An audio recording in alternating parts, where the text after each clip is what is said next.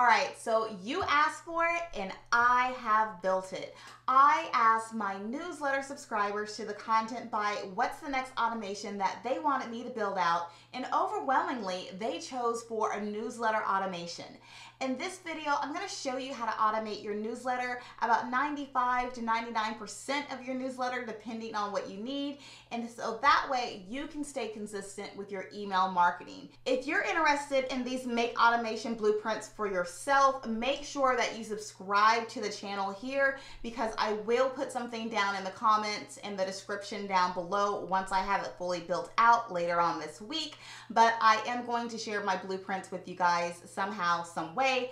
In the meantime, if you don't want the blueprints and you need help implementing something like this into your business, I'm also going to drop a link down below so you can book a discovery call with me so we can figure out what the best automations are for your business. So with all that being said, let's go ahead and jump into the video. All right, let's go ahead and dive into this newsletter automation. First off, I want to show you what the flow looks like so it's not too complex. But I do want to go ahead and tell you that we are starting out with AI table versus starting out with an RSS feed or something else. So let me take you to the AI table here. So that way you can see exactly how to set things up for yourself for your own newsletter. What I have in the first column here is the topic. So the topic that you want your newsletter on. And I also have a column for subject line, newsletter copy. So that's actually where um, the copy is going to go that Chat GPT actually generates. And then I also have a call to action link. That can be whatever you want. You can have the link to your scheduler, you can have an affiliate link, whatever it is that you want to actually include in your newsletter. Then also, you have the status. And within the status column, I have queue, in progress, draft, and posted. And I have this for a few different reasons. Number one, so to go one by one. Number two is that once I actually have the copy of what ChatGPT has written, I can actually come in here and change some things around if I like to. And then lastly, if I have posted it and I approve everything that's been going on here in the data sheet, after I post it, I can go into a second automation after this, meaning I can post this to my social media account, encourage people to sign up for my newsletter or whatnot, considering the fact that I've actually approved everything and posted it. That would take a second scenario. If you guys are interested in seeing what happens after a draft has been approved and posted, and how I take it from there to publish it to social media, let me know down in the comments and I'll make a video for that. But let's go ahead and jump into the actual automation here itself. So I've showed you the records. That's what we're going to have in AI table. Or if you want to start it out with Airtable, Google Sheets, RSS feed, whatever you want, you can do. So if you have seen my last video on automating your blog, this looks fairly similar because it pretty much is. I reworked everything to make it fit for a newsletter. And so I'm going to show you everything here. I've already shown you the table, but I'm going to show you what this actually looks like on the module here. So it's actually pulling up the information that I have on that data sheet that I just showed you. And the first thing that you want to do is you want to give it a command and filter it by the status, right? So I showed you my queue buttons and I showed you that it can change to in progress, posted, draft, whatever. And you want to make sure that you have that filter set because if not, then this is just going to run through everything that you've written on your data sheet, okay, in one setting, one go. You don't want that, okay? So next thing is the iterator and we use that record ID over here from our AI table data sheet. And then moving on, I have a, a, little sleep in here, just a couple seconds. You can take that out if you want. I just put it in there because, you know, whatever. Three second sleep, so we're not just zooming through everything. Next thing is we're going to update a record in AI table. And so what I have here being updated is I want to actually see it go and be in progress. So we're changing from queue to in progress with this one here. Next, we are writing emails. So we want to create a subject line. And so I have very specific rules that I put down for ChatGPT. As I said earlier in another video, you can use whatever large language model you want. So ChatGPT, Claude, um, Gemini, whatever you want. So you can use that, but I've used ChatGPT here, so this is what I'm going to show you here. So the prompt is very detailed. It's telling them that it's an expert copywriter and I'm telling them exactly what I want as far as my subject line. I want it in eight words or less. I do not like semicolons. For some reason, ChatGPT and AI likes to put semicolons in titles, and I absolutely hate it. So I've written that. I've only made sure that they have different outputs, no explainer text because you know these models and ChatGPT always likes to explain how they did something. I don't really care. And I also gave some examples of good examples and bad examples for the subject line. So at the very end, I make sure that I have the email subject, and the email subject is going to be the topic that you have on your AI table record. I also put down a second prompt for it as an assistant because I wanted these newsletters and I want these newsletters to be in my tone, meaning the way that I write, the way I speak. So I've added a prompt specifically for me. I created a ChatGPT assistant and it's basically telling them or it, you know, act as Nachole. And I've changed my title to a seasoned email marketer, of course. That's not it.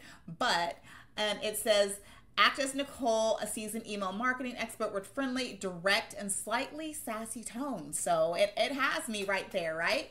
So write a captivating subject line for my newsletter aimed at the content bite. The newsletter is about, and you want to make sure that you have your topic. And I gave more iterations here of what I want my subject line to be concise, keep it short, avoid using the semicolons, etc., etc. Okay, so you can do this yourself. You can add in another message to ChatGPT so they can actually start picking up your tone for any of this content that you create, okay? So that's what I've done there. All right, so let's move on to the actual newsletter and the prompt that I've given it to actually write the newsletter. So, uh, generate a newsletter on this topic, and that correlates with the topic in your AI table data sheet. And then here is the title of the newsletter. So, you get this from the output from here as far as what the subject line is and then we want to write an email newsletter of no more than 300 words on the topic of once again i give it the topic of the ai table data sheet okay?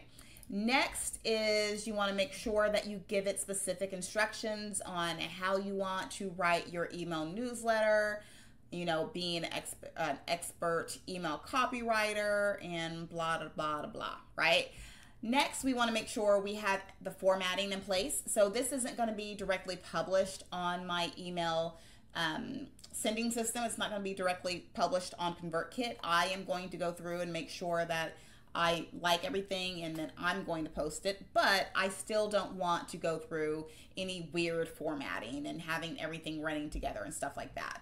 I also added not to use or add asterisks in front of words because for some reason, ChatGPT likes doing that. I reiterated again that it should be about 300 words. And do not repeat the subject line of the newsletter at the beginning of the email because the newsletters I was getting previously had that subject line repeated again. There was no point. And then do not use all caps in the email headings if at all possible. And next, I am going down for the second message and I'm making sure that ChatGPT has my tone and my you know, my personality kind of twisted in here for this message content. So, once again, just like I did for the subject line, I made sure to give it information about myself and what to actually add in. Another thing is for the salutations at the end of your newsletters. I always have, you know, something down there and I wanted to make sure it didn't say the same thing because the first newsletters that I was generating, it just said, you know, generic something and then um, quotation marks and then like your name, like in the quotation marks. It did not have my name, Nachole. So you want to give it specific information here. If you wanted to add in a call to action to book a call, you can write that in here like make the call to action to book a call with me for you know my agency or whatever it is you want to do that so i added to in the email with a salutation of one of the following. So it will go through here and pick one of the following. And so it will kind of regenerate. So it's not always going to be the same thing. And it actually has my name on here because that was kind of annoying actually having to write my own name in um, where it just had the generic name. Okay, so we're gonna go on next, and then we go on for the text parser because it's going to change that HTML from your subject line in your newsletter to text right? And then now I have it going to updating a record in AI table, meaning once all this has gone through, once it's written my subject line in my newsletter, it's actually going to update it in AI table versus just putting it on like a Google Sheets or a Google Doc, right? because it can be done that way, but I, I told you that we can set this up so we can have a second automation run after everything is published and approved. And that can go on your social media channels. And the only way that you can do that is by updating a record. Okay. And then lastly, I have that repeater module on and the bundle order position is coming from here for that flow control right here, the iterator.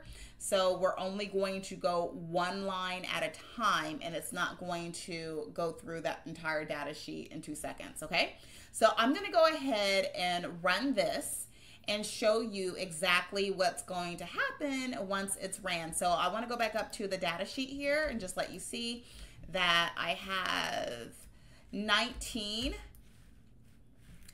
that I have 19 topics here and I have the call to action link, which is not going to matter, but I have 19 topics and we're going to focus on this number one here, building relationships through weekly newsletters. And going back here, I'm going to show you this. I forgot to show you like what we're updating. So we're updating a lot here. So we're updating the subject line. We are putting in the newsletter copy we're changing the status from in progress to a draft. And we're also adding in the created at time.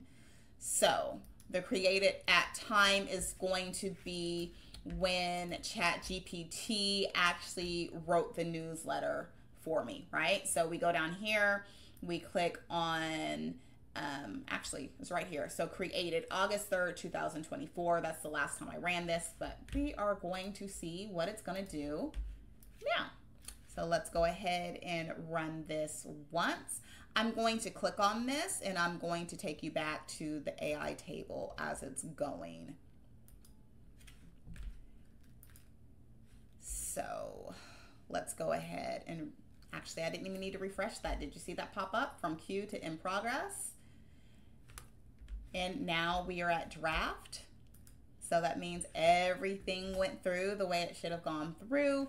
And so now I'm going to show you exactly what the subject line it came up with and the copy it came up with. So the subject line for the topic of building relationships through weekly newsletters is boost connection with weekly newsletters today. Uh, okay, See, this is why I want to have checks and balances here. So maybe I might change that. I don't know. And then the newsletter copy, as I said, I mentioned in the prompt not to repeat that title or that subject line, but sometimes it does. So once again, I'm going to go ahead and expand this for you so we can take a look at what it's done, right? So it's a pretty good length as far as the newsletter is concerned. And I've read through a couple of these as I was actually making all the drafts and everything and running it through, and it does really sound like me. It sounds really good. So, what you need to do from here is you are going to change things around as much as you need to within your table here. And then if you needed to add in, so this is just a reference. This is not actually in here. So this is just a reference for you. If you need to add in your call to action link, if it's to an affiliate product, your own product, or whatever it is. And then at this point, you're going to copy and paste this into your email service provider. I use ConvertKit, but I think this is a pretty awesome um, automation and this will save you tons of time. If you are interested in learning more about, you know, part two and how I'm going to spin this to get this to be a social media post, go ahead and drop that in the comments.